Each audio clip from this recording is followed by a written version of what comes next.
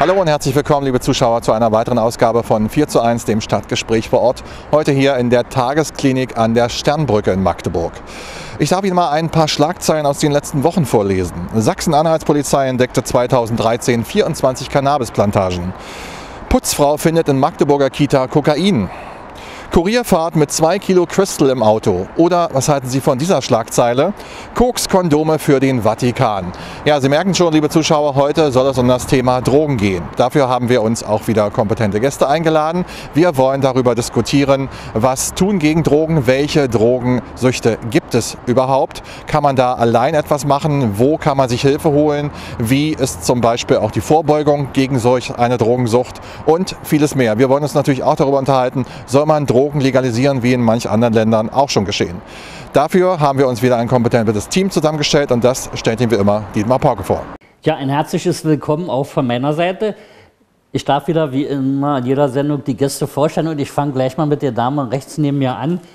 Frau Helga Mesen-Hühne, äh, Sie sind von der Landesstelle für Suchtfragen Sachsen-Anhalt. Wem untersteht diese Stelle eigentlich? Und erzählen Sie mal ein bisschen über sich, wie sind Sie zu diesem Job gekommen?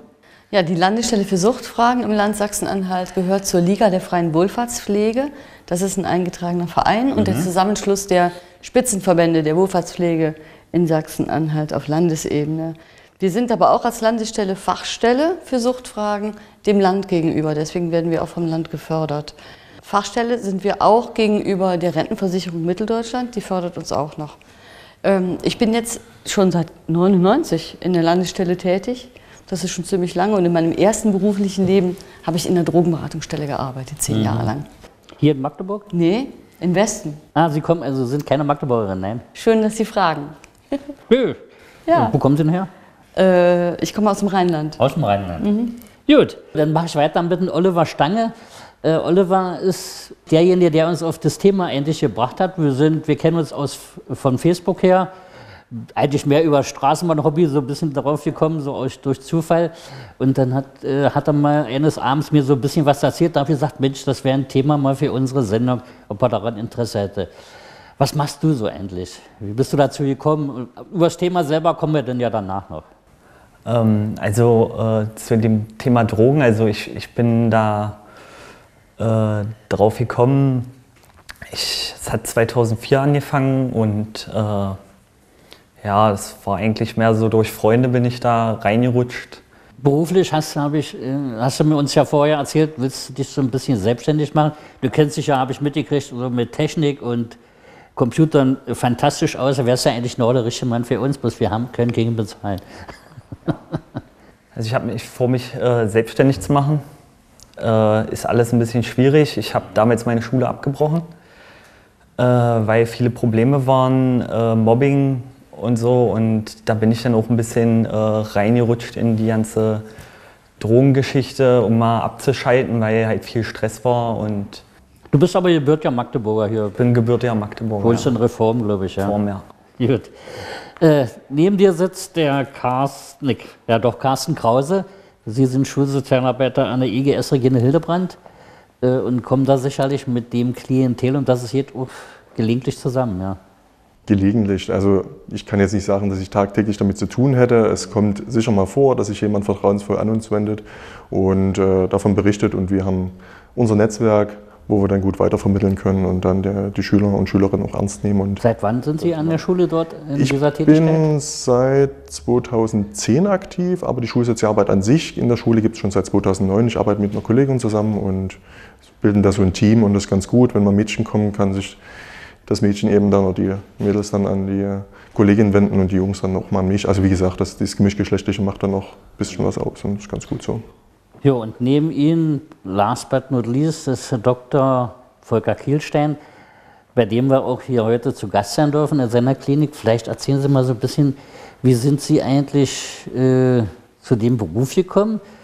Sind Sie Magdeburger und wie lange gibt es die Klinik eigentlich schon? Also ich weiß bloß, dass es das ja hier auch schon zu DDR-Zeiten gab. Ja, also ich bin Wahlmagdeburger, schon seit 1962. Nee, 1960. Mhm. Wahlmagdeburger seit 1960. Ich habe hier angefangen zu studieren. Ich stamme aus Thüringen und äh, habe dann äh, 1971 hier eine neurologisch-psychiatrische Abteilung übernommen. 1972 weit und breit die erste Alkoholikergruppe gegründet, hier in Mitteldeutschland. Und 1978 nach wissenschaftlichen Untersuchungen zu dieser ambulanten Therapie ähm, habe ich dann die Tagesklinik gegründet, zunächst in einem Keller in der Lenné-Straße, in den wir Stand besetzt hatten.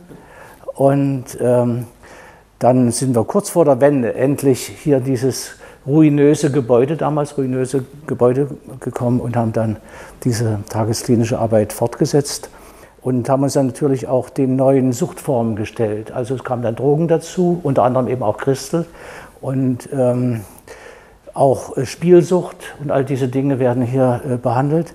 Und im Moment ähm, ist das hier die größte Suchttagesklinik in Deutschland mit 35, 30 Therapieplätzen. Und äh, daneben gibt es ein medizinisches Versorgungszentrum für Psychiatrie, Psychotherapie und Suchtmedizin, sodass also die Suchtkranken auch immer einen ambulanten äh, Anlaufpunkt haben. Und ja, also die Auseinandersetzung mit den Drogen äh, hat uns doch in den letzten Jahren sehr geprägt. Und in der Zwischenzeit ist es so, dass auf zehn Alkoholkranke hier immerhin 4,8, muss man sich überlegen, 4,8 äh, Drogenabhängige kommen. Und da spielen wiederum die Mischkonsumenten eine große Rolle. Und da spielen wiederum die Christelabhängigen zunehmend eine Rolle. Also zum Mischkonsum gehört das heute dazu. Also vielleicht zwei Drittel aller sogenannten Mischkonsumenten nehmen auch Christel. Mhm. Vor der Wende waren Sie ja ein Teil der Poliklinik Süd, waren Sie sozusagen angegliedert. Jetzt sind Sie aber selbstständig. Das heißt, Sie arbeiten auf eigenes Risiko. Ich habe das ganze Modell auf eigenes Risiko über die Wende gebracht. Das war nicht einfach, aber da muss ich jetzt nicht mehr drüber reden. Das ist alles Geschichte.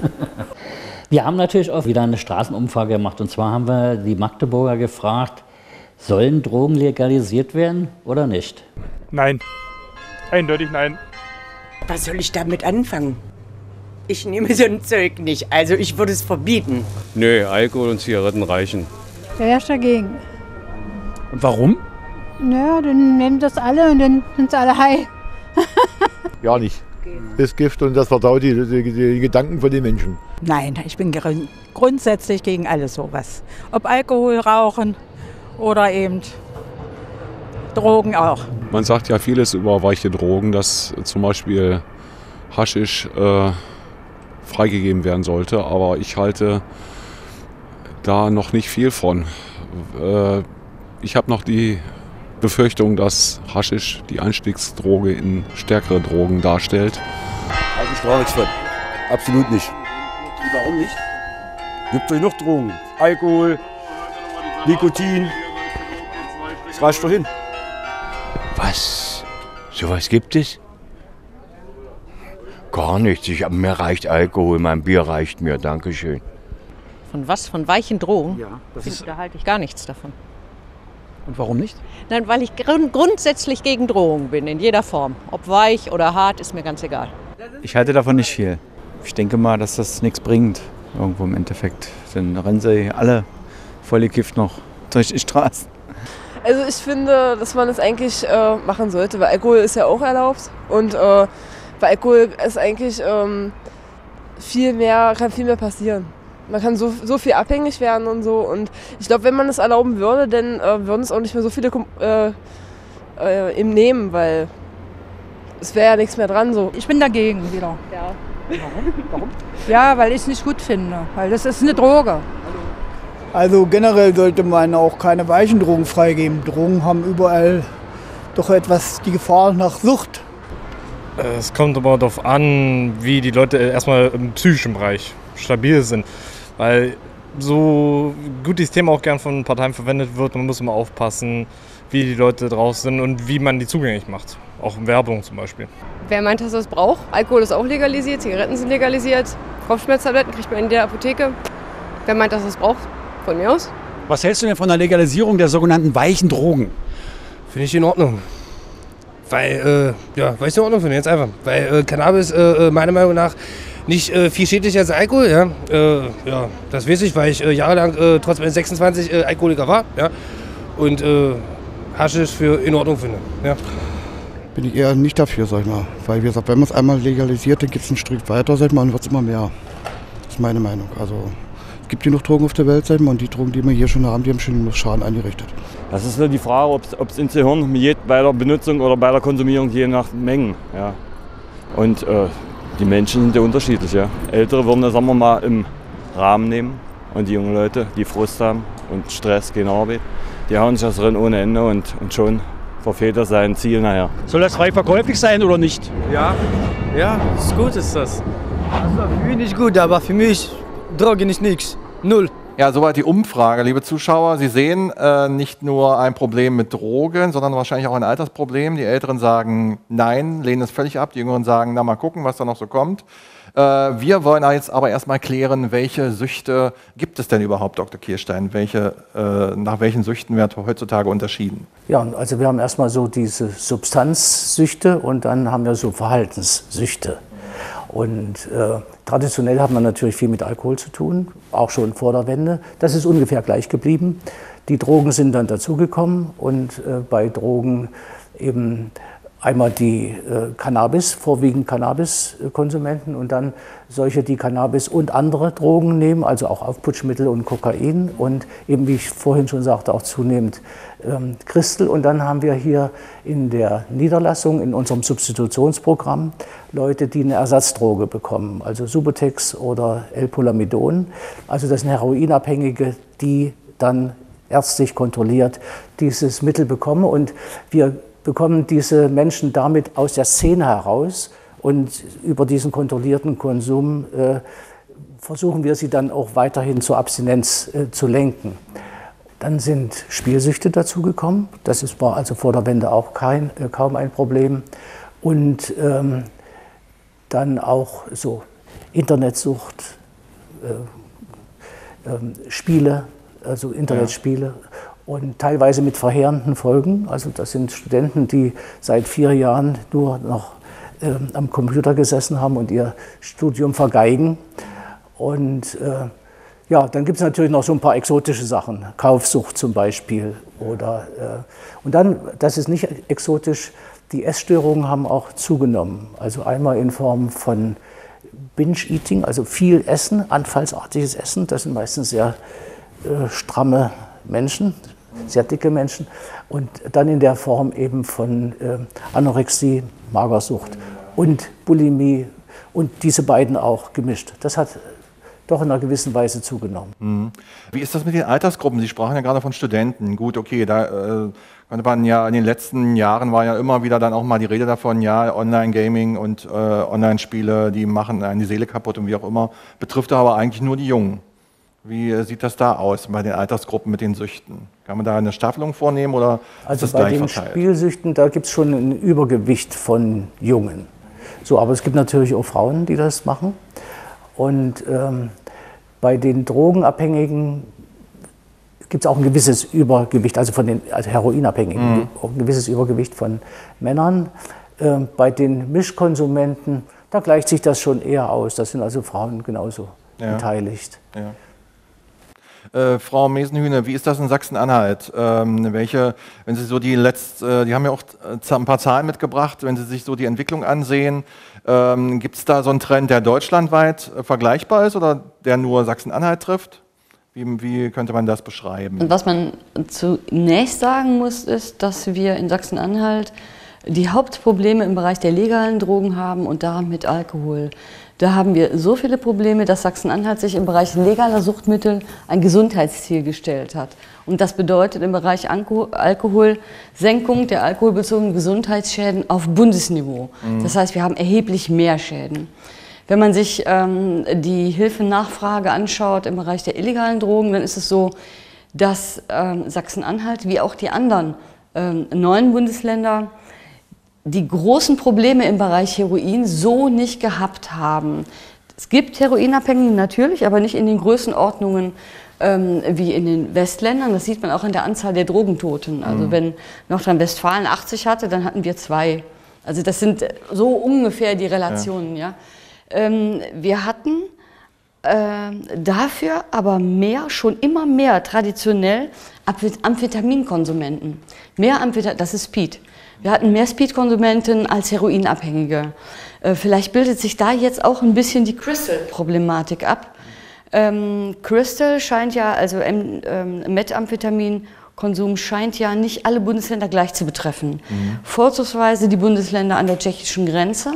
Wir wissen aber auch von unseren Polizeibehörden und vom Landeskriminalamt, dass ähm, Crystal nicht mehr nur aus Tschechien kommt, sondern dass es durchaus auch schon ähm, eigene Labore gibt in einigen Ländern, weil es vergleichsweise einfach herzustellen ist. Und da trifft es vor allem offensichtlich Bayern, also Nordfranken, ähm, Sachsen, Sachsen-Anhalt, Thüringen ein bisschen. Es gibt auch Einzelfunde woanders. Es gibt inzwischen auch äh, einiges an Crystal in Hamburg und in Berlin. Mhm. Und ja, Okay, ähm, meine Frage in dahin, teilweise gibt es ja noch die Vorstellung, äh, also ich will das jetzt nicht als romantisch bezeichnen oder so, aber die typische Vorstellung, Christiane F., haben wir alle im Kopf, ja, ähm, dass, man, dass die Junkies so aussehen oder, äh, sage ich mal, Willie Nelson, der alte Hippie, der dann da durch äh, Am- Amerika braust und seine Country-Songs unter, äh, mit äh, kiffender Zigarre oder der Zigarette ähm, vonstatten geht. Äh, so sehen aber heutzutage Drogenabhängige nicht aus, oder? Nö. Also früher gab es ja auch mal diese Klischees, dass ähm, hauptsächlich in ähm, politisch eher linksliberal stehenden Kreisen gekifft wird. Das geht heute völlig durcheinander. In der Regel ist, also den ideologischen Kiffer scheint es nur noch im Ausnahmefall zu geben, sondern äh, Cannabis scheint als Suchtmittel gerade bei jüngeren Leuten äh, auch nicht als einziges konsumiert zu werden, sondern in der Regel wird dazu auch getrunken. Und zwar links wie rechts. Ja. Da gibt es keine Unterschiede mehr. Was ich ganz faszinierend fand ähm, bei der Frage Legalität, Illegalität ist, dass neulich in unserem landesweiten Arbeitskreis Suchtprävention Präventionsfachstellen erzählt haben, Jugendliche würden sie fragen, wie kommt das eigentlich im Bereich Alkohol? Da werde ich danach gefragt, wie alt ich bin und da gibt es Suchtprävention. Wenn ich äh, Haschisch kaufe, fragt mich kein Mensch, wie alt ich bin. Das Verrückte ist ja, Cannabis ist verboten. Das zeigt zum einen, es ist ganz einfach zu kaufen, ja, und zum anderen, es gibt überhaupt kein Unrechtbewusstsein. Und es gibt auch nicht sowas wie Jugendschutz. Das hat aber mit der Illegalität zu tun. Mhm. Mal noch eine letzte Frage in der Hinsicht. Sie sind ja nun äh, vom Land Sachsen-Anhalt sozusagen äh, mit dabei. Ist denn das Thema jetzt auch wirklich in der Landesregierung angekommen? Muss man einfach mal so fragen oder wird das gerne mal, na, Sie machen das schon, äh, weggeschoben? Auch die Frage ruhig dann danach an Dr. Kirstein. Nö, also ich habe den Eindruck, dass die äh, Landesregierung, also quer durch alle Parteien, die beschäftigen sich durchaus mit aktuellem Suchtgeschehen, auch intern innerhalb der, der Ausschüsse. Ähm, die Landesregierung im Gesundheitsministerium, auch im Innenministerium befassen sich auch damit. Ähm, die hängen das nicht permanent an die große Glocke und das ist auch richtig so, weil äh, das ganz schwierig ist mit Präventionsbotschaften. Ähm, es ist ja nicht so, dass jeder kifft. Also ich gehe mal von aus, jetzt hier von uns, äh, Nicht, dass ich wüsste, weiß ja jetzt nicht, Hm. wie es mit Ihnen so ist, aber in der Regel äh, wird eigentlich Ja. nicht so gekifft. Also man muss auch sehr äh, vorsichtig sein mit dem, was man da ähm, veröffentlicht. Mhm. Ja, also auf jeden Fall ist es in der Landesregierung Es wird angekommen. gesehen, Gut. es wird gesehen, Äh, ja. Frage an Dr. Kirstein. Also das heißt, äh, Sie werden auch mit offenen Armen empfangen, wenn es um bestimmte Problematiken geht, die Sie mit entsprechenden Leuten in der, sage ich mal, Ministerialebene absprechen müssten oder könnten? Das kann ich so nicht sagen. Mhm. Ähm, also die, äh, die Alkoholproblematik, die ist ja allgemein bekannt. So, Essstörungen auch. So, ähm, aber äh, zum Beispiel die Problematik der Mischkonsumenten. Das sind ja die vielen, ich sagte ja 4,8 auf 10 Alkoholiker. Mhm. Und die meisten sind Mischkonsumenten. Das ist meines Erachtens noch nicht entsprechend angekommen. Das sind die Cannabis-Leute, das sind die Leute, die Speed und Ecstasy nehmen und die auch Crystal nehmen und inzwischen auch häufig Kokain. Und ähm, das sind häufig junge Leute, das sind manchmal Studenten, das sind Leute, die noch ein stabiles soziales Umfeld zum Teil haben, Mhm. die auch gesundheitlich noch nicht so beeinträchtigt sind, die aber frühe Hilfen brauchen. Und diese frühen Hilfen bieten wir zum Beispiel hier in dieser Einrichtung. Aber äh, ich habe sowohl bei manchen Krankenkassen, aber auch an anderen Stellen nicht das Gefühl, dass äh, ich mit dem Angebot, was ja dann auch bezahlt werden muss, logischerweise sehr willkommen bin. Ja. Also da gibt es noch äh, Klärungsbedarf. Da gibt es noch erheblichen Klärungsbedarf. Sie sprachen gerade das nochmal an. Also ähm, im Spiegel war letzte Woche ja nochmal auch ein Beitrag, da ging es um eine Umfrage. Die Drogenbeauftragte hat ja jetzt äh, die letzten Zahlen bekannt gegeben der, der Bundesregierung, äh, dass vor allen Dingen ein Drittel der Befragten Schule und Studium als äh, Grund nennt, äh, zum Beispiel für Crystal Meth. Ähm, bleiben wir vielleicht mal bei den Drogen an sich. Kommen dann mal zu Herrn Stange. Äh, Sie hatten ja vorhin schon erwähnt, äh, dass das im Freundeskreis so passiert. Wie geht das so vonstatten? Also Wie bei- muss man sich das vorstellen? Also bei mir hat das so angefangen, dass äh, ein Kumpel meinte, äh, 2004 rum, also da war ich 14 gewesen, äh, meinte er zu mir, ähm, ja, ähm, ich habe da was mit und äh, äh, das, das kann man rauchen. Ich habe zu dem Zeitpunkt noch nicht geraucht, also äh, auch keine Zigaretten, Keine, keine Zigaretten. Und äh, dann haben wir einen sogenannten Eimer dafür äh, gebaut, weil wir keine äh, Pfeife hatten. Das ist praktisch eine Apparatur aus einem abgeschnittenen äh, Tetrapack und, und einer abgeschnittenen Also eine, äh, ähnlich wie eine Wasserpfeife so ungefähr. Genau, Mhm. genau. Und äh, da wird das halt nicht durchs Wasser äh, durchgefiltert, sondern äh, es ist halt direkt äh, drinne und man, man zieht es direkt Ja. rein. Und äh, das erste war erstmal, dass ich total ins Husten gekommen bin. Ja. Und äh, danach hat sich ein Gefühl eingestellt, was ich zu dem Zeitpunkt noch nicht kannte. Mhm. Aber was waren Ihre Beweggründe, es durchzuziehen, also es zu machen? Dem Moment war äh, Neugier. Neugier, einfach nur Neugier. Ja. Und meinen Sie, dass das auch bei vielen anderen Jugendlichen zum Beispiel der Fall ist, die damit in Kontakt kommen? Oder äh, manchmal liest man ja auch, ja, die, die Clique, wenn die Clique sagt, du mach schon, du mach schon und äh, die anderen machen es und du machst es nicht. Das ist auch äh, Ja. wahrscheinlich ein Grund, nehme ich mal an, oder? Ja, ja. So, und dann, wie ging es dann weiter? Ähm, ja, denn äh, das war dann bloß einmal ausprobiert sozusagen. Äh, irgendwann kam dann das wieder, äh, dass, dass man das mal wieder machen könnte. War, war ja eigentlich ganz cool gewesen. Man saß dann halt so in einer, in einer Gruppe äh, und, und war halt äh, relaxed und, und äh, gechillt und konnte, Ja. konnte, konnte gut miteinander kommunizieren und so. Und äh, dann ist das immer ähm, mehr geworden. Also Haben Sie das von sich selber bemerkt, dass Sie das brauchen oder war das für Sie noch normal? Äh, es ist schwer zu sagen. Also, ähm, ja, es ist. Es ist. Ähm, ja, dieses, man, man, will, man will halt Ja. dieses, dieses Gefühl wieder haben. Lange behalten, genau. Hm. Wann hat das Umfeld, so äh, Familie, äh, Freunde, Schule vielleicht, weiß ich nicht, gemerkt, dass da was nicht stimmt mit Ihnen? Ja, Und wie haben die reagiert? Äh, ich war eigentlich schon immer relativ ruhig gewesen. Mhm. Äh, das meinen Eltern, glaube ich, noch nicht so früh aufgefallen. Äh, haben wir ja auch meistens bloß gemacht, wenn wir, wenn wir in unserer Truppe unterwegs waren Mhm. und, und, und so. Und ja. Ja, das, das stelle ich mir nicht immer ganz einfach vor. Ähm, und wann war der Zeitpunkt oder wie ging das vor sich, als Sie sagten, jetzt, jetzt muss ich den Schnitt machen, jetzt muss ich hier äh, den Hammer fallen lassen und mich äh, jemandem zuwenden? Also ich habe das äh, dann irgendwann mal äh, meiner Mom erzählt. Die fand es natürlich gar nicht gut. Mhm. So.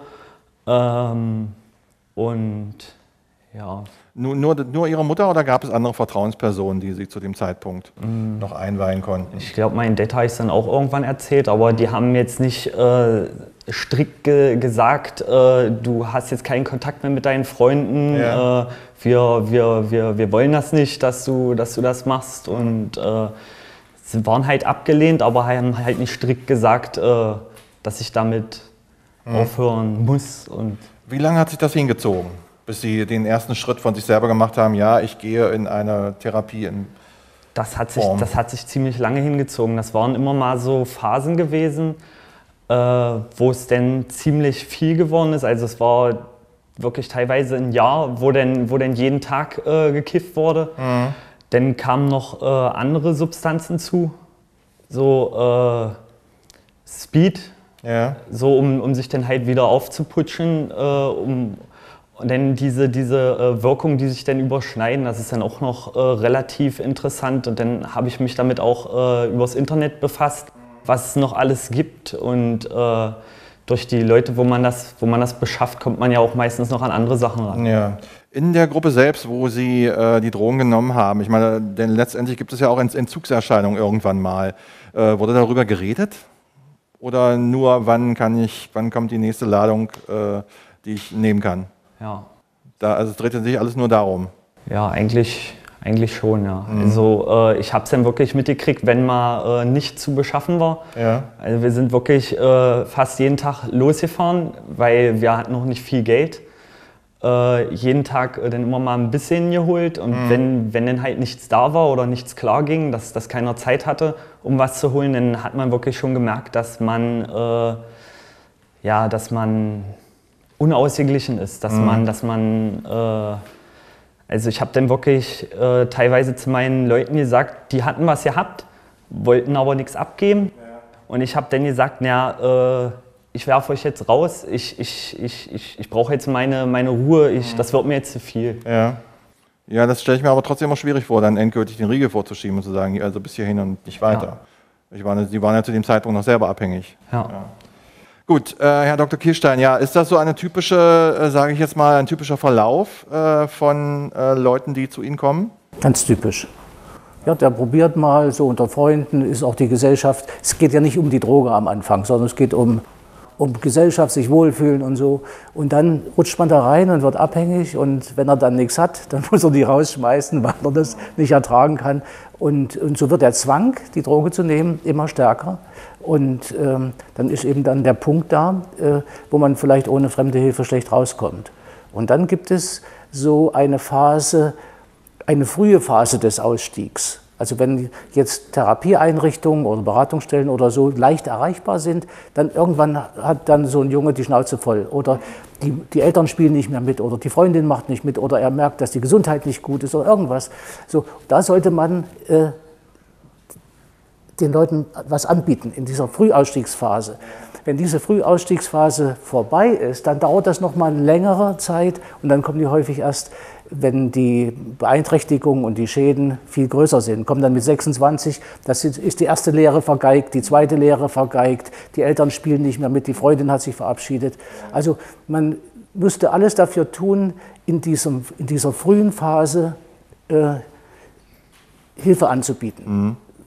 Bei solchen Mischkonsumenten, sage ich jetzt mal so, äh, wie er einer ist. Da sind wir ja schon bei diesen Ursachenforschungen. Es gibt ja sicherlich zig Untersuchungen darüber, äh, wie sowas losgeht, äh, woran man das erkennen kann. Ähm, ist das schon so, dass man sagen kann, ja gut, okay, du kriegst jetzt hier so eine Handhabe, Punkt 1 bis 10 und wenn du dich daran hältst, dann bist du clean.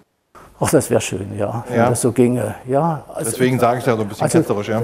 Das Reinkommen ist ein Prozess und das Rauskommen ist auch ein Prozess. Also das ist ein Funken von der Motivation oder irgendwo drückt was und dann kommt er wohin. Ja. So, und wenn er also schnell wohin gehen kann und bekommt Hilfe angeboten, dann entwickelt sich die Motivation weiter. Dann gibt es auch wieder einen Rückfall. Und dann ist es ja nicht nur so, dass die jungen Leute in die Szene gehen, sondern wenn der aussteigt, dann kommt der, stimmt's, der lange Arm der Szene und sagt, willst du nicht.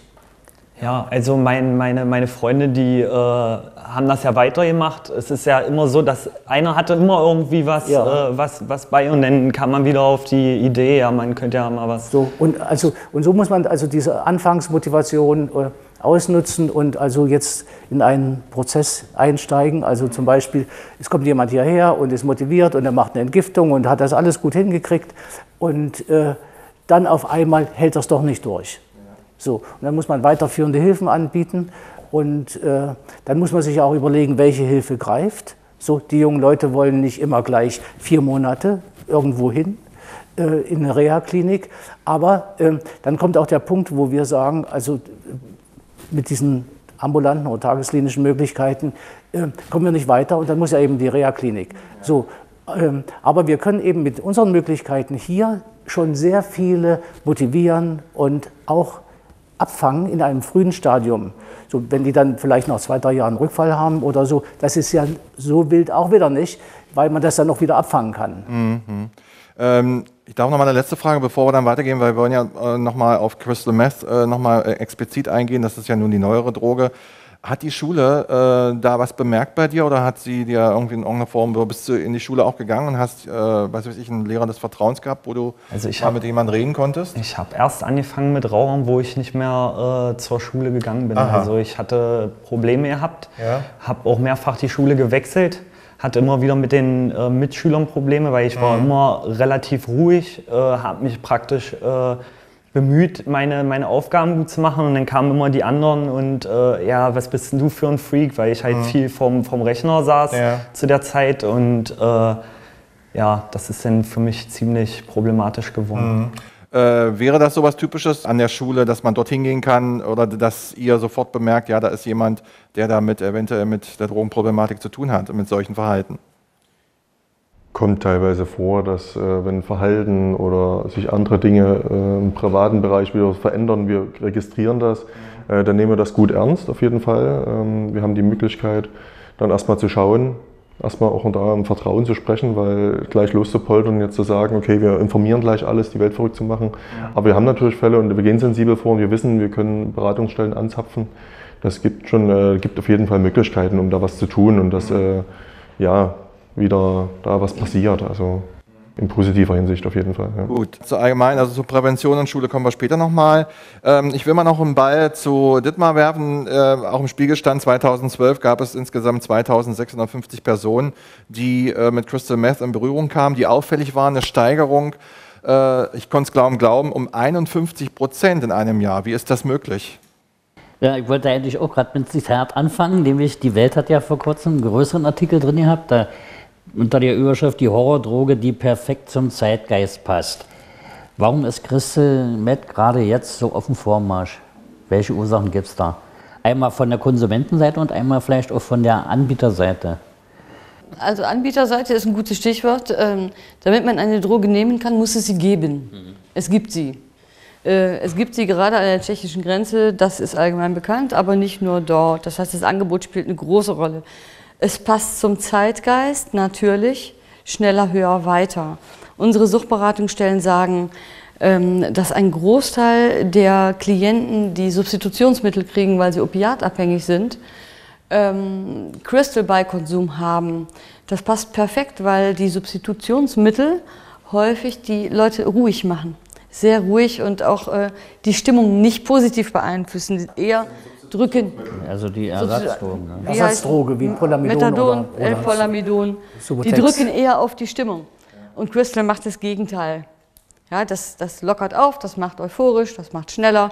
Und es scheint auch stärker zu. Sehen Sie, ich kriege schon wieder das dumme Gefühl, ich betreibe Drogenwerbung. Hab Man ich auch kommt- gerade gedacht. Ja, aber Ja. man kommt ja gar nicht drum rum. Also wa- was will man denn machen? Man muss ja schon offen informieren. Ähm, Crystal hat eine angenehme Wirkung, das muss man mal sagen. Äh, und es scheint auch so zu sein, dass es subjektiv vordergründig leistungssteigernd wirkt. Subjektiv. Ähm, was Crystal so gefährlich macht, ist, dass es Löcher im Kopf macht. Das ist die einzige mir bekannte Droge, vielleicht kennen Sie ja noch eine andere, die innerhalb von kürzester Zeit tatsächlich neurologische Schäden macht.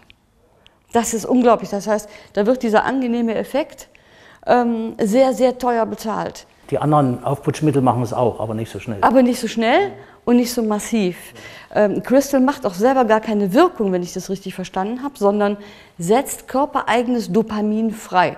Zerschießt im Hirn die Zellwände und dann kann das körpereigene Dopa- Dopamin freigesetzt werden. Das ist unglaublich. Wie sieht das mit Ecstasy aus? Das ist eine was völlig andere Wirkweise. Völlig andere Wirkweise und ist jetzt nicht das Thema. Ich möchte das Thema Drogenwerbung jetzt verlassen. Äh, nein, das ist das Problem. Ja, man muss immer, wenn man über Drogen spricht, auch über die Vor- und die Nachteile reden. Aber Ecstasy macht eben auch diese Effekte im Gehirn. Aber wie schon gesagt. Aber andere, Ja. hat eine ganz andere Wirkweise. Ähm, und das ist eben das Problem, glaube ich, dass äh, ich hoffe jetzt sehr, dass die Konsumentengruppen, die noch nachdenken über das, was sie tun. Wir haben ja gerade bei Crystal zum ersten Mal das Phänomen, dass es, sich, dass es keine Droge ist, die sich an eine Schicht bindet oder an eine bestimmte Altersgruppe, sondern es gibt ja Crystal-Konsum auch durchaus ähm, bei Bis, bis, Leuten, bis 63 Jahre hat man Eben. festgestellt. aber so eigentlich in den 30ern, in den 40ern äh, und in durchaus bürgerlichen Schichten. Vielleicht nicht in exzessivem Konsum. Das, unsere Suchtberater sagen, es gibt Leute, die konsumieren schon seit Jahren. Allerdings nicht exzessiv, sondern wesentlich geringere Dosen. Schäden kriegen die trotzdem. Und zwar äh, hauptsächlich ähm, Schäden im, in den Gedächtnisleistungen. Also das, was anfangs toll ist, man kann sich viel merken, man kann viel leisten, verkehrt sich ganz schnell ins Gegenteil und braucht sehr, sehr lange, äh, bis es sich wiederherstellt. Aber das weiß Dr. Kielstein sicher besser als Mediziner. Ja, die schlechte Nachricht ist, dass es so schnell äh, Löcher macht und Ja. die gute Nachricht ist, das regeneriert sich wieder. Aber das dauert Aber eben dauert. lange. Dann muss der eben zwei Jahre abstinent sein. Und was muss ich tun, bis der zwei Jahre abstinent ist? Da habe ich eine Menge Arbeit und der Betroffene auch. Da Mhm. muss ich auf einen totalen Veränderungsprozess einlassen. Und die Droge ist eben so in der Wirkung offensichtlich so angenehm und so toll. Und äh, wir machen ja ambulante Entgiftung. Also in Sachsen zum Beispiel in der Zeitung steht, furchtbar, man kann die nicht entgiften und wie schwierig das alles ist. Ist überhaupt nicht schwierig. So, wir haben hier zum Beispiel, ähm, ich habe mal ein paar Zahlen, ähm, 14 Leute ambulant entgiftet in einer Serie und die haben alle die ambulante Entgiftung geschafft. So, ähm, aber äh, damit ist eben noch nicht alles erreicht. Dann muss der ja noch entwöhnt werden, also er muss auch stabilisiert werden, psychisch stabilisiert werden und er muss das dann aufrechterhalten. Und das ist eher das Problem, die Aufrechterhaltung der Abstinenz dann bei äh, Christelabhängigen. Und ähm, uns scheint äh, es so zu sein, dass aber diese schnelle körperliche Schädigung auch einen gewissen positiven Effekt hat. Äh, viele kommen nämlich an und fühlen sich total abgemagert und krank und kaputt. Und das ist so ein Punkt, äh, wo äh, dann viele auch aussteigen wollen. Genau. Und deswegen muss man dann schnelle Hilfe anbieten, von Mhm. heute auf morgen. Mhm. Wie kann man diesen Vormarsch endlich stoppen? Ich meine, es ist ja angeblich relativ leicht herzustellen. Viele machen es selber. Und äh, es gab ja schon mal äh, das auch als Medikament bis 1988, Mhm. als, als. Aufputschmittel, der hieß Pervitin. Pervitin, mhm. Und der Wirkstoff Ephedrin, der ist ja eigentlich auch in vielen äh, Erkältungsmitteln mit drin. Ja. Wie, wie, dann war es eigentlich relativ ruhig und ab seit 2009 ist es so auf dem Vormarsch. Wenn man jetzt zum Beispiel, äh, ich, hab, ich war schockiert, als ich gehört habe, dass André Agassi äh, Christelkonsument war, dass dem deshalb die Haare ausgefallen sind. Wir hatten immer gedacht, der hat sich die rasiert, damit er besser aussieht, aber das Gegenteil war eigentlich der Fall. Aber der hat ja den Absprung irgendwie auch wieder geschafft. Ja. Wie kann man aber das, den Vormarsch stoppen? Also ich habe eine Idee. Also zum Beispiel, ähm, wir in unserer Einrichtung, wir äh, sehen das alles im Rahmen dieses Mischkonsums. Und Mhm. der kriegt eben immer ein anderes Profil. So, und als erstes muss man sich diesem Phänomen verstärkt widmen. Ich rede da schon seit ein paar Jahren darüber. Jetzt gibt es von der Landesstelle diese Christel-Konferenz. Das ist also genau die richtige Richtung. Also man muss sich einmal von professioneller Seite stärker darum kümmern. So, dann muss man vielleicht auch deutlich machen für die Betroffenen, welche Gefahren das beinhaltet.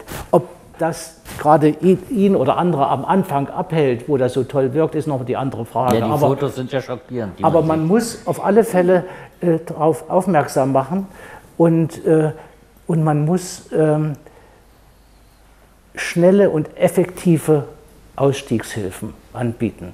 Und da ist also sozusagen dieses Rehabilitationsmodell greift zu spät. Es muss also in den Beratungsstellen, auch bei niedergelassenen Ärzten, aber auch in unserer Einrichtung, die ja wohnortnah und akutmedizinisch arbeitet, da muss man diese erste Welle abfangen und da kann man dann die Verschlechterung äh, verhindern und vielleicht auch mehr Problembewusstsein schaffen.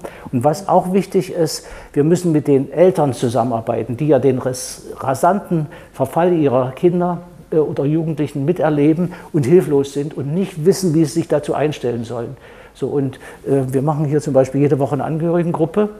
Ähm, und da kann man sehen, in welcher Not und Hilflosigkeit die Eltern sind. Und äh, dass man die Eltern unterstützen muss, wird dort deutlich. Und auch der Austausch zwischen den Eltern und ähm, die ähm, neuen Strategien, sich zu verhalten, die äh, bewirken sehr viel. Mhm. Aber Darf wie- ich das ergänzen? Ja, klar, gerne. Ähm, ich weiß nicht, wie Sie es sehen, Dr. Kirstein. Ich finde diese Bilder, die aus den USA kommen, absolut kontraproduktiv. Die sind ganz grauenvoll. Unsere Suchtberater sagen, es gibt ab und an inzwischen Klienten, die tatsächlich vergleichsweise schnell verelenden. Aber die sind die Ausnahme. Und es dauert viel länger, als man das an diesen äh, Bildern, die über die äh, Medien kommen, sieht. Die Bilder machen nämlich einen schrecklichen Effekt. Otto und Emma Normal-Crystal-Konsument sehen die Bilder Und und, sagen, die denken sich, oh, aus. ich doch nicht. Ja, genau. Der Kumpel, den ich kenne, der schon seit zwei Jahren Crystal nimmt, der sieht da ganz anders aus. Ja. Das stimmt doch alles nicht. Und in dem Moment glauben die nichts mehr. Die glauben nicht auch ernstzunehmende Warnungen über die Substanz und ernstzunehmende Informationen, weil die sagen, auch diese Erwachsenen wieder, dieser Hype, das ist doch alles Quatsch.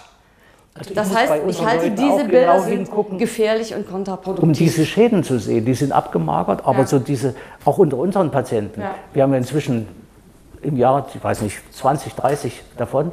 Äh, Da kommt keiner so an, wie das auf diesen Bildern aussieht. Die Bilder spiegeln auch ein bisschen amerikanische Gesundheitsversorgung. Hältst du das auch so fest in deinem Richtig. Kreis? Oder, oder, oder man, man, oder man steht. sich im Internet zu Crystal und sieht dann halt, dass es im Zweiten Weltkrieg verwendet wurde und denkt sich dann. Was äh, soll der Quatsch? Ja. Was damals gut war für Piloten, ist heute gut für mich. Ja, Ja. genau. Das heißt, übertragen auf Prävention. Prävention muss aufhören, auf so eine billige Art Angst zu verbreiten, sondern muss stärker Information, sachgerechte Informationen verbreiten. Das ist das eine. Und das zweite will ich nochmal wirklich ausdrücklich betonen, was Sie sagten. Es ist ganz wichtig, Konsumenten früh zu erreichen und dann, wenn sie Hilfe suchen. Und da kriegen wir ein Problem, ein Ausstattungsproblem. Das betrifft Ihre Einrichtung mit Sicherheit auch. Ähm, Und das betrifft alle Suchtberatungsstellen auch. Die haben dermaßen viele Crystal-Konsumenten im Moment. Und die müssen die eigentlich dann beraten, wenn sie kommen. In dem Moment. Weil kann sein, morgen kommen sie nicht wieder und in einer Woche schon mal gar nicht. Das können sie sich nämlich nicht Terminvorgabe wäre merken. ungünstig, ja. Hm. Können sie sich leider nicht merken. Ja. Das heißt, man muss mit denen arbeiten, wenn sie vor der Tür stehen. Und die Kapazität, diese Personalkapazität muss ich erstmal haben. Dann sagt die Beratungsstelle, Moment mal, was ist mit meinen Alkoholkranken? Da leidet auch das ganze Familiensystem. Ich kann die doch nicht nach Hause schicken, nur weil da auf einmal drei Christelbengel in meinem Wartezimmer äh, sitzen. Das geht doch nicht. Und da gibt es echte Probleme und da müsste tatsächlich kurzfristig auch mal von den Kommunen mehr investiert werden.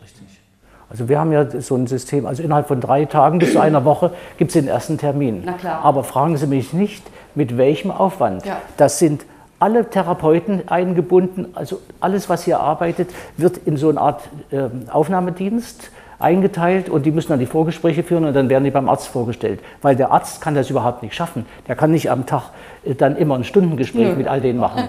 So, und ähm, also wir, können, wir behelfen uns so, so, aber eigentlich wird das auch für, bei uns nicht finanziert. Das ist Service. Für eine private Einrichtung, wir können nur das ausgeben, was wir verdienen.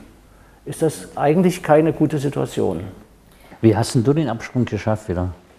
Also äh, bei mir war es äh, vor zwei Jahren, also 2012, ähm, da hatte ich eine Phase gehabt, wo ich äh, viel Mischkonsum betrieben habe.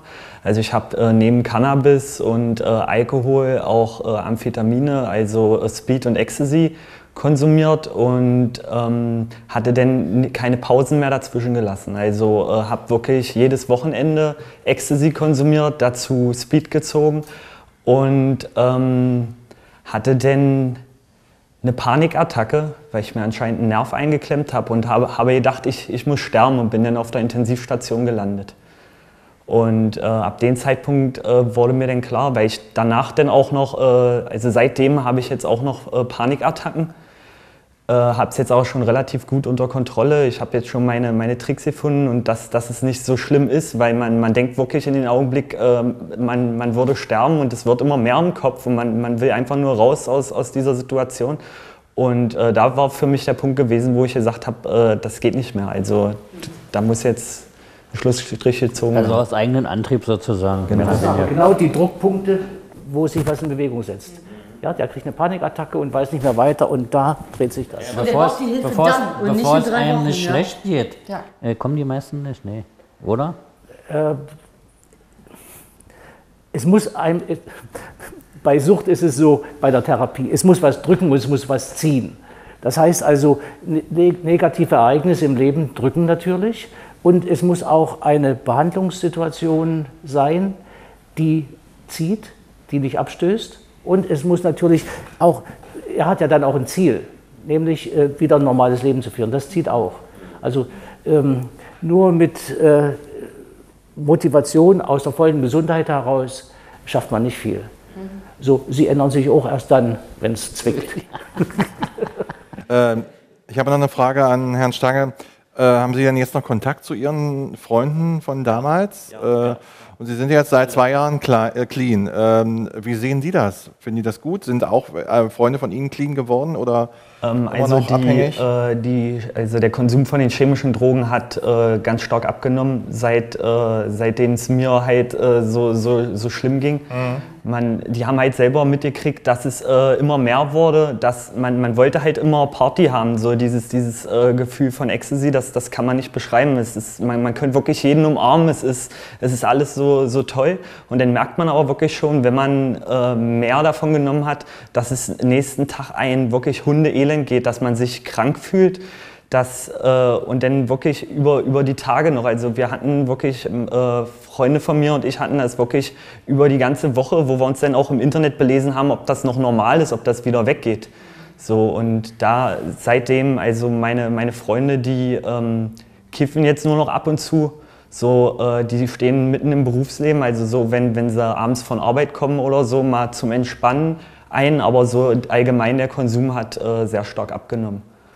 Hängt das so mit dem Alter zusammen, dass man den, sagen wir mal, Anführungsstrichen doch vernünftiger wird? Wahrscheinlich auch mit, mit dem Alter, ja. Ah. Gut, so lange sollte man, denke ich mal, nicht warten, bis man etwas älter ist und vernünftiger. Dann im Moment, äh, jetzt stellen wir uns mal vor, derjenige steht vor der Tür, weil es zwickt und zwackt. Wie läuft dann so eine Entgiftungskur bei Ihnen? Die, von der Sie, die Sie vorhin Also wir würden haben. jetzt mit ihm erstmal ein Gespräch führen äh, ja. äh, und mal gucken, was mit ihm überhaupt los ist. Und ähm, gibt es ein bestimmtes ähm, Schema für die Vorgeschichte, damit man auch an alles denkt. Und man muss auch an medizinische Komplikationen denken, wenn man eine Entgiftung macht. Und wenn das dann alles durch ist, wird er beim Arzt vorgestellt und dann würden wir sagen, okay, wir halten dich für geeignet, eine ambulante Entgiftung zu machen. Wir haben in der Gruppe jetzt gerade in dieser Entgiftungsgruppe haben wir noch ein paar andere junge Leute und dann wirst du sehen, dass sie das auch schaffen. So und dann würde er Tabletten kriegen gegen Entzugserscheinungen für eine Woche oder über zehn, für zehn Tage, manchmal auch ein kleines bisschen länger und würde jeden Tag dann hier in eine in sogenannte Entgiftungsgruppe kommen. Also jeden Tag anderthalb Stunden Gruppentherapie. Da entsteht Motivation, da kriegt er mit, wie das bei den anderen läuft, dann kann er sich jemanden, kann er jemanden sehen, der schon ein paar Tage weiter ist und der dann mitgezogen wird. Also er lernt eigentlich so das Grundhandwerk, äh, um auszusteigen. Und äh, parallel dazu lassen ja die Entzugserscheinungen nach und nach zehn Tagen oder einer Woche ist er erstmal frei. Also er kann, äh, sich, kann ins Bett gehen oder kann sich frei bewegen ohne die Droge.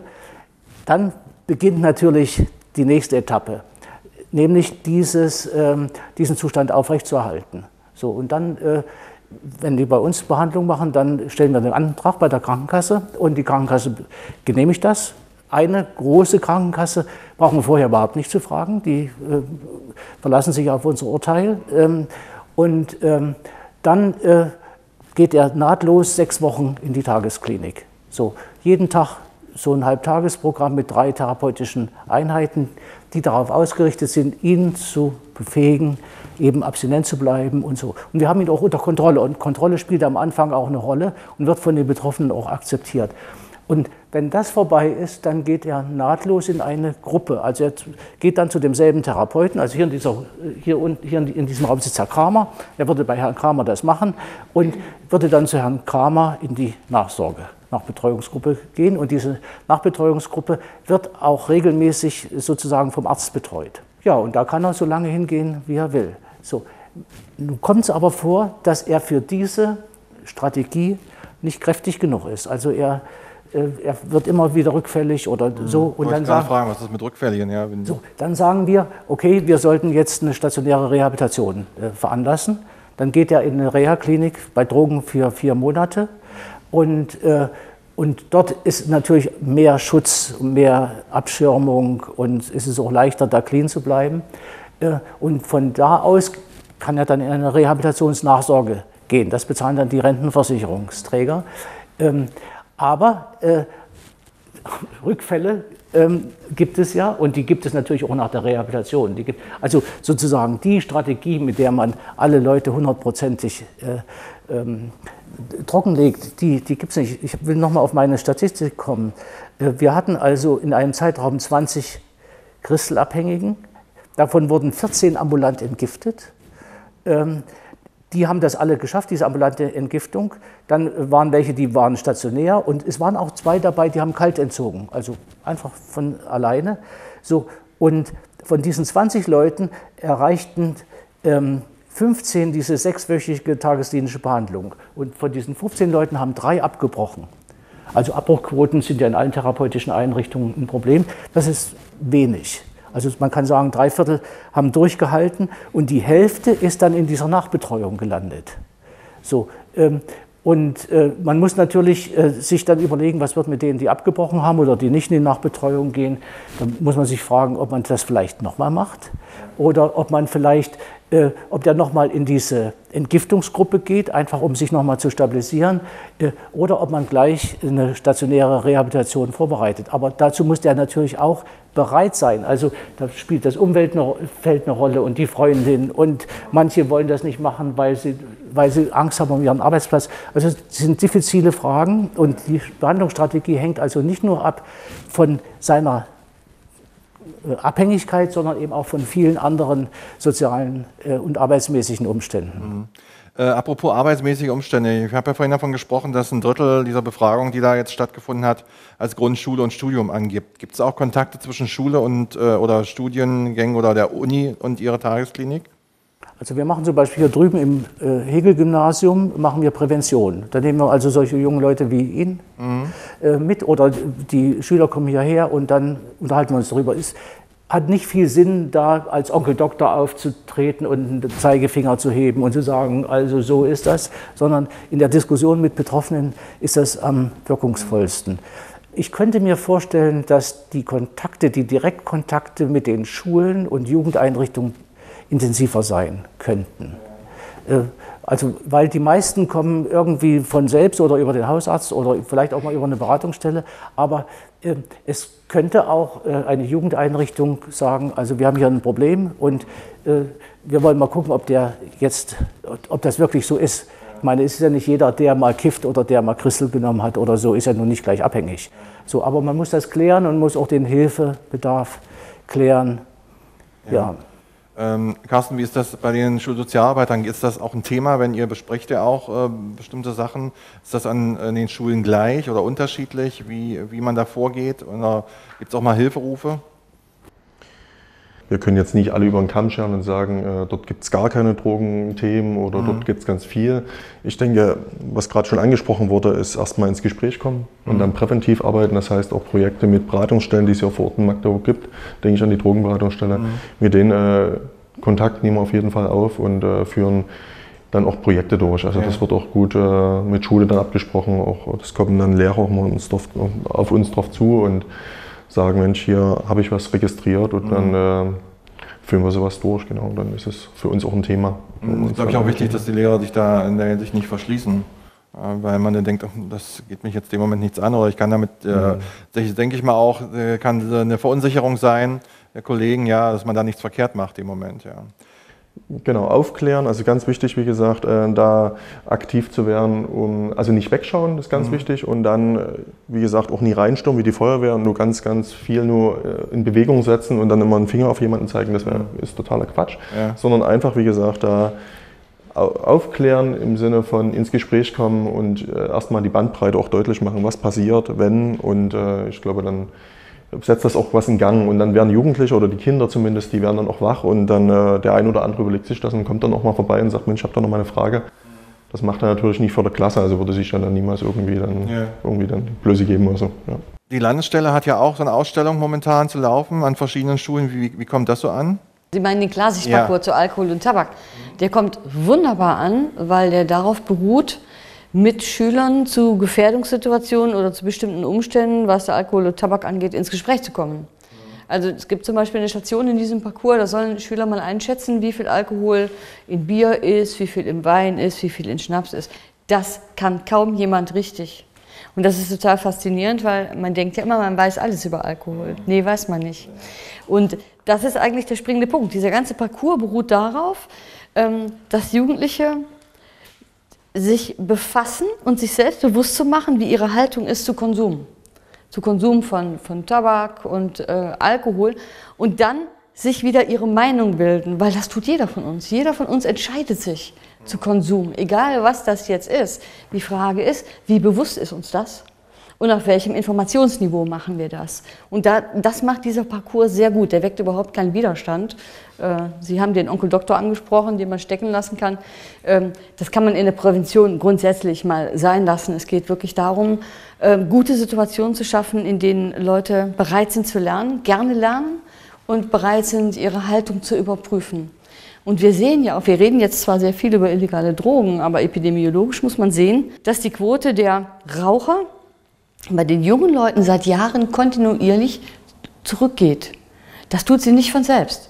Die Tabakindustrie ist alarmiert und sie hätte das sehr gerne anders und tut ihr Bestes, jugendliche Zielgruppen möglichst früh an ihre Marken zu binden. Ähm, das ist eindeutig ein Effekt von Nichtraucherschutzgesetzen und auch veränderten Präventionsstrategien, wie zum Beispiel diesem Parcours. Und was man auch sieht, netter Nebeneffekt, parallel ähm, zum Sinken der Raucherquote bei Jugendlichen sinkt die Quote der Neueinsteiger in Cannabiskonsum. Wer nicht raucht, hat es schwieriger zu kiffen. Sehr netter Effekt. Ja. Nur, man darf sich da überhaupt nicht drauf ausruhen. Es ist ganz wichtig, das weiterzuentwickeln und weiterzufahren, weil die Wirtschaft schläft nicht. Und die Tabakindustrie verdient, und zwar Unsummen. Und die Alkoholindustrie auch. Und die Lasten, die das mit sich bringt, die zahlen wir alle. Ja, und äh, nicht nur die Wirtschaft profitiert von. Ja, ich wollte gerade sagen, also äh, es ist ja, sagen wir der mal... Staat, der Staat. Ja, der Auch. sowieso durch die Steuern, Genau. genau. Äh, legale Drogen zu beschaffen ist ja relativ preiswert, sage ich mal. Äh, illegale Drogen zu beschaffen ist ja nicht ganz so einfach. Äh, da gibt es ja auch die Beschaffungskriminalität. Um die zurückzudringen, wäre es da ein Modell wie in Holland oder Colorado, weiche äh, Drogen zu legalisieren? Ähm, ich habe mich mit der Frage viel befasst, weil ja klar war, dass die heute auf der ja Tagesordnung Thema steht. auch, ne? Ganz genau. Äh, man darf, glaube ich, zwei Bereiche nicht vermengen. Das eine ist die Frage, sind illegalisierte Drogen, wir haben beschlossen als Gesellschaft, dass bestimmte Drogen illegal sind, werden sie illegalisiert, sie haben die Suchtpotenzial und bergen die Gefahren. ja, das tun sie, muss man mal so sagen. In welchem Ausmaß steht noch auf dem anderen Blatt. Und die zweite Frage ist, macht die Drogenprohibition Sinn? Das ist die zweite Frage, die kann ich überhaupt nicht beantworten. Ich kann Ihnen sagen, es gibt eine Resolution, die haben schon 106 Strafrechtsprofessoren in Deutschland unterschrieben. Und die sprechen sich dafür aus, die Drogengesetzgebung in Deutschland zu überprüfen. Weil die sagen, Drogen, die, die Drogengesetzgebung, ein Ziel der Drogengesetzgebung ist, ähm, Schäden von Menschen abzuwenden. Und die sagen, das passiert aber leider nicht. Wenn man mal guckt, bei der Strafverfolgung äh, werden in der Regel Kleinkonsumenten erwischt und Lebensläufe schwer beeinträchtigt. Das ist eher ein Schaden als ein Nutzen.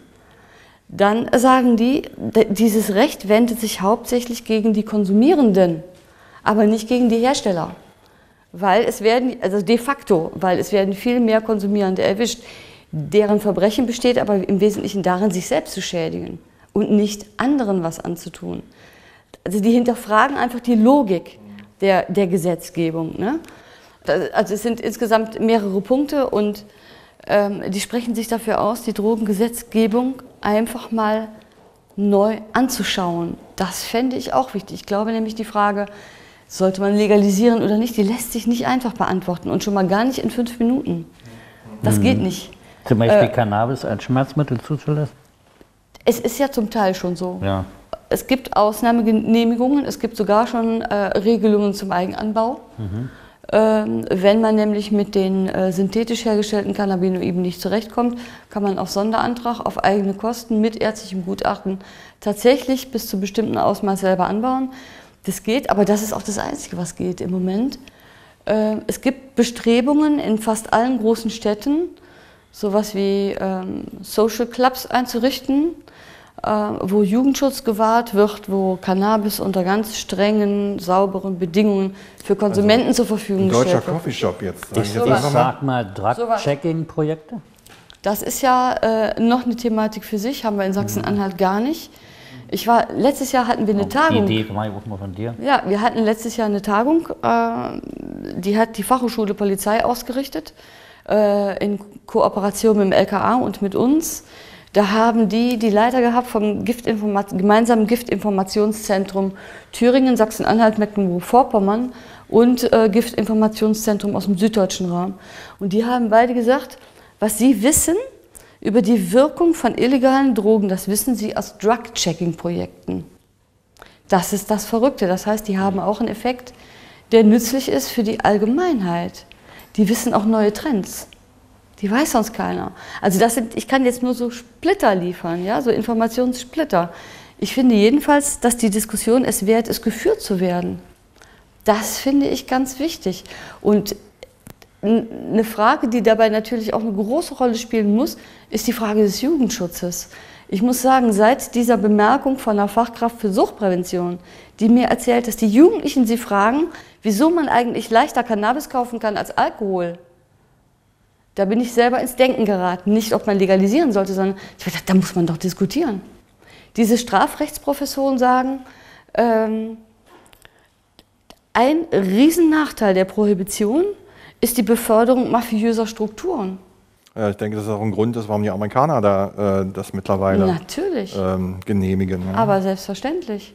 Und mafiöse Strukturen, die, die sagen ja nicht, nö, nö, wir beschränken uns auf Cannabis, das ist nicht ganz so gefährlich. Und nee, nee, wo Mafia drin ist, ist auch häufig Prostitution drin mhm. und Waffenhandel. Also es ist ja häufig nicht so klar zu trennen, ja.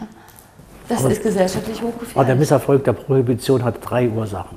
Einmal die mafiösen Strukturen, zweitens das Konsumbedürfnis der Bevölkerung, ganz einfach, und die Gewinninteressen der Industrie. Also äh, das große Geschäft bei der amerikanischen Prohibition hat ein, amerikanisch, hat ein kanadischer Konzern gemacht. Ähm, und äh, also diese. Also bei welcher Prohibition jetzt? Der, bei der amerikanischen in den 20er Jahren. Alkoholprohibition. Ja. Genau. So. Aber, ja. aber das sind immer die drei Faktoren. Also das Der Gewinninteresse. Geht noch ein weiter und ist viel deutlicher. Ja. Und ähm, das, was Sie sagen, ist natürlich auch richtig. Mit der Illeg die Illegalisierung hat eben große Nachteile und die Kleinen erwischt man und die Großen, die, ja, die gehen. Ähm, das ist die eine Seite. Also Legalisierung hätte in dieser Hinsicht eine Menge Vorteile. So, auf der anderen Seite äh, ist eben auch die Gefahr nicht zu unterschätzen. Absolut.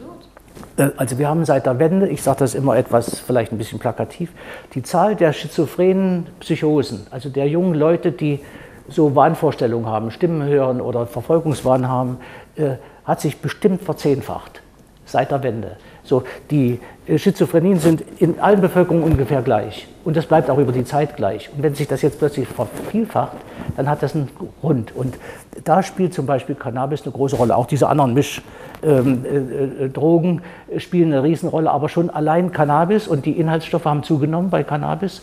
Und die ähm, Psychosen davon, die erleben wir ja hier. Ich meine, in unserem Programm, wir, können, wir erschrecken da nicht so sehr, weil wir auch gleich einen Psychiater dabei haben, der das dann auch mal ein halbes Jahr mit bestimmten Medikamenten behandeln kann. Aber das ist eine Riesengefahr. Und die zweite große Gefahr, die man, muss man auch sehen, es äh, werden so Lebensläufe, äh, äh, laufen so leer. Also es ein vollkommen gesunder junger Mensch fängt mit 14 Jahren damit an und geht aufs Gymnasium oder macht Schulausbildung oder irgendwas und plötzlich sitzt er mit 26 Jahren da und hat nichts. Hat seine Schule nicht geschafft, hat seine Lehre nicht geschafft und so. Also diese beiden Dinge, ähm, die muss man eben auch im Auge behalten. Und da gebe ich Ihnen recht, es ist nicht einfach, äh, hier eine Lösung zu finden. Aber man sollte sich wirklich mit den Professoren nochmal zusammensetzen, ob man vielleicht auch das Legalsystem ändert. Weiß ich jetzt nicht. Ja. Sie haben vorhin äh, gerade noch mal kurz eingehakt bei diesen deutschen Coffeeshop, sage ich jetzt einfach mal. Es wäre das eine Idee, Leute äh, da sanft zu entgiften? Es, es, ist eine schwierige, es ist eine schwierige Frage. Also äh, was ich zurzeit äh, auf jeden Fall noch schlimmer finde, ist äh, der Vormarsch von die sogenannten Legal Highs. Also dass Leute, die ähm, halt Cannabis mal konsumiert haben, sich die gleiche Wirkung erhoffen mhm. und äh, sich dann Substanzen kaufen, die noch nicht verboten sind, weil die, weil die äh, immer in China immer wieder geändert werden. Und äh, sowas habe ich auch selber mal ausprobiert, kann ich auf jeden Fall sagen, ist äh, absolut krass. Also äh, die Wirkung ist tausendmal krasser. Also man kann die eigentlich gar nicht niedrig genug dosieren. Ähm, nach dem Rauchen äh, habe ich zum Beispiel festgestellt, dass ich nicht mehr vorlesen konnte. Ich habe einen Artikel aus dem Internet, wollte ich einen Kumpel vorlesen, das ging nicht mehr. Er hat dann angefangen zu lachen. Ich so, na, probier doch du mal zu, zu lesen. Er konnte es auch nicht mehr. Also die, die, die Wirkung ist äh, da noch viel schlechter einzuschätzen als äh, von den illegalen Sachen. Mhm. Äh, Sie haben auch vorhin gesprochen im Internet. Da ist es also praktisch, wenn ich jetzt das so höre, für mich eine Anleitung, immer schnell mal noch schneller, noch weiter, sage ich jetzt in Anführungsstrichen, noch schneller zu bestimmten synthetischen Drogen zu kommen. Dann gibt es den nächsten Hype. Ist das so eine, so eine Stufe, die, die nirgendwo endet für Sie? Ja. Ist es? Was sagt der Fachmann? Ja, es wird dann plötzlich, äh, wie Badesalz und alles sowas, äh, wird plötzlich äh, verboten, aber die Hersteller sind viel schneller. Also es ist verboten und schon ist das ist Neue wieder da. Und das wird natürlich über das Internet rasant vermittelt. Nun gibt es ja gerade heute, ganz aktuell steht in der Zeitung, dass also Drogen, äh, Dealertum und äh, Schmuggelbandengeld, wie auch immer, zusätzlich ins Bruttoinlandsprodukt mit eingearbeitet werden. Das ist doch eigentlich läuft doch dem konträr, was wir gerade diskutiert haben. Naja, das ist vor allem zu kurz gesprungen. Ja. Man muss vor allem die Kosten mal dazu rechnen. Man darf das gerne mal tun, wenn man das ins Bruttosozialprodukt mit aufnimmt, dann sind das ja Verluste. Ja, also das sind ja keine Im Einnahmen, schon mal gar ja. nicht Einnahmen für den Staat. Das sind doppelte Ausgaben. Also wenn man zynisch ist, kann man sagen, äh, äh, auf Alkohol und Zigaretten macht der Staat Gewinn und zwar nicht zu knapp, ja. Aber auch dem stehen ja Ausgaben in Größenordnung gegenüber, die von den Einnahmen überhaupt nicht gedeckt werden im Bereich Alkohol schon. Das muss man ja sehen. Die werden über die Sozialkassen, also Krankenversicherung, Rentenversicherung äh, und so weiter aufgefangen und die zahlt jeder von uns. Die zahlt jeder von uns. Und diese Ausgaben sind weitaus höher als die Einnahmen. Und im illegalen Bereich müsste man das genauso angucken, ja. Also das Also Im Grunde ist das ja ein moralisches Problem. Das moralische Problem, was Sie jetzt auch gerade ansprechen, besteht darin, dass Gewinn höher steht als menschliche Werte. So, und das ist, dieses Phänomen haben wir in verschiedenen Bereichen, da will ich gar nicht erst anfangen.